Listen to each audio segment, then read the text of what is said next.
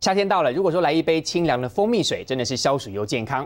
不过呢，在市面上面充斥着很多用糖水混装的假蜂蜜，我们应该如何分辨呢？这一次呢，大冈山龙眼蜂蜜节在礼拜六就要开跑了。今年的蜂蜜品质比以往多很多，而且好很多。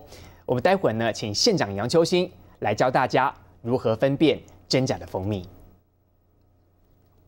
清凉消暑的蜂蜜水，加上花粉一起泡，双重口感让你喝出不同风味。把它浸一下，没有？它不会融化。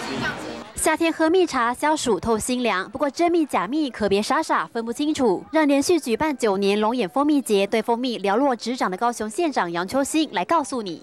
哦，手手就看下面对，对来啊，啊你也看哈，因因为伊个伊个泡沫吼，究竟下面无一样，伊个泡沫无一样。一年一度的大冈山龙眼蜂蜜节，除了有令人大开眼界的疯人表演，测试你的胆量，更有琳琅满目的纯正蜂蜜现场展售。